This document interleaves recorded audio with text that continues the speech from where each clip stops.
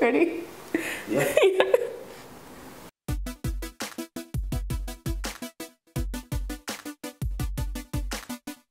Hey, you guys, thank you for joining me for another episode of Grace Refined. Today's message is on overcoming fear. Now, this is a very, very personal topic for me because I've recently had my own battle with fear, and I wanted to make this video to not only give my testimony, but to also offer advice on how you can overcome fear in your own life. While I was studying for this message, God revealed to me a lot of things, not only for my own situation, but He also showed me things that might help other people who may be experiencing the same thing I was experiencing, or who may have something different but still fear in other areas of their life. Now, a little bit about my story. My friend passed away on May 3rd, 2015. This was a very difficult time for me because I've never had anyone close to me to pass away other than elderly members of my family. It is very normal to grieve. My struggle came when my grief turned into fear. Now, I was experiencing fear in many different ways. I was afraid to be alone. I was afraid for anyone close to me to leave my presence because I was afraid something would happen to them when they left me. I was afraid of um, things happening to myself, things happening to people I cared about, just the fear of death and something something or someone harming someone that I cared about was tormenting me. I remember one night at school, I experienced anxiety attack and I really just wanted to get up and run out of the room. It was really bad. And I remember leaving school that night, driving home, crying out to God, literally in tears because I was experiencing things I didn't understand. I was explaining to him the things that I felt and um, the things that I also knew in his word that applied to me. He, in this moment, began to speak to me, and he began to speak to me through myself.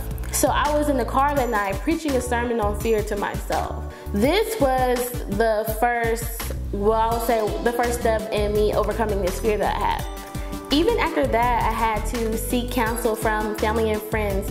Um, I would just call up people who cared about me and I would just ask them to pray for me. And this was very difficult for me because I've never had to do this before. I'm always the one who has all the answers. I'm always the one praying for someone else and speaking life into someone else.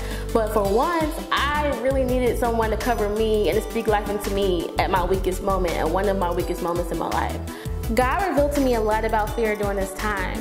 He showed me that fear is actually the opposite of faith.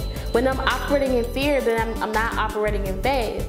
God says that without faith, it is impossible to please Him.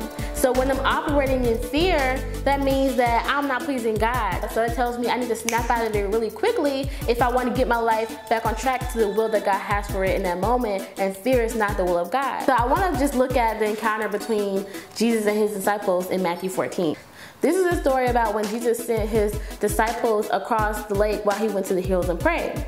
While they were on the boat, the waters became troubled. During this time, they see Jesus walking toward them on the water. They became very afraid. They were not only afraid because the waters were troubled, but they were afraid because Jesus was literally walking on water. They were like, wait, is Jesus a ghost? Like, what is going on? And Jesus said something really important to them. He said, have courage, don't be afraid, I am here with you. And because of this, Peter felt confident enough to walk on the water toward Jesus. But because the waters became troubled again, because the storm became stronger, he became afraid again and he fell. As Jesus is helping Peter up, he says to him, You have so little faith, why did you doubt me? We should not fear because Christ is with us. God lives within us. We are never alone. He says, Why did you doubt me? He said, Why do you have so little faith? Why did you doubt me? Doubt is fear. And sometimes in our walk with Christ and just in life, we don't see doubt as fear. We see fear as, you know, being afraid that something's gonna, someone is gonna harm us. We see fear as being afraid of heights or being afraid of bugs or being afraid of death, but we don't see just doubt itself as fear. But doubt is just not trusting God, meaning fear is when we don't trust God.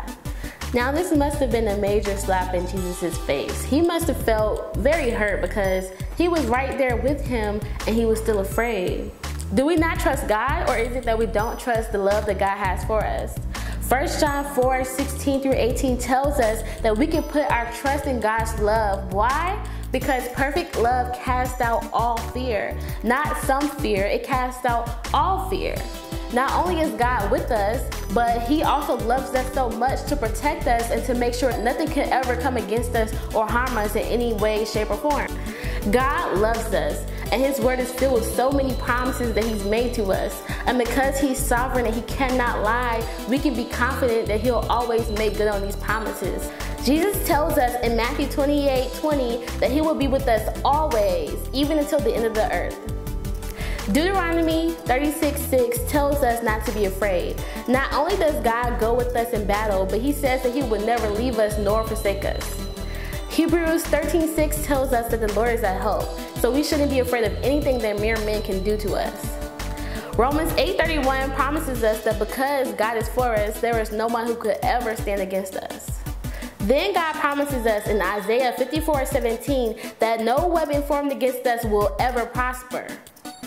Look, I don't possibly have the time to go over everything that God promises us in His Word, but I do urge you to search these scriptures and understand these promises for yourself. I'm here to tell you that God is with you. He loves you. You can trust in His love and you can rest in His promises. He will never leave you nor forsake you. Your faith is your weapon. We are in a battle. The devil has come to steal, kill, and destroy. Don't let him steal your joy. Don't let him steal your faith. I love you. God loves you. Have a blessed day.